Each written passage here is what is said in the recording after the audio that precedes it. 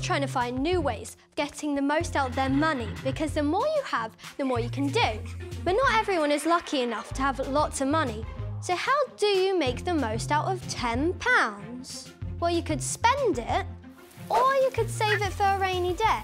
Where would be a safe place to keep this? Ever heard of a bank? Your money won't get lost. And if you leave it in there for a while, when you take it out again, you usually get more money back. How does it work? The magic word is interest. Banks like any other business. They want as many customers as they can get. To persuade you to choose them, the bank pays you an amount of money to keep your money in their bank.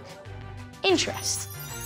You might put in a tenner, and after a year, get £10.20 back when you take it out again. But it works the other way too. The big things in life, cars, houses, not many people can afford to pay for them in one go. You could save up for it, but where are you going to live? Or what are you going to drive in the meantime? Some people borrow money to buy the things they need. And banks lend money to people all the time. But not for free. If you borrow money from them, when the time comes to pay it back, you give the bank what you borrowed plus a bit more, interest. Banks work out how much the interest will be as a percentage of the main amount. Here's a simple example.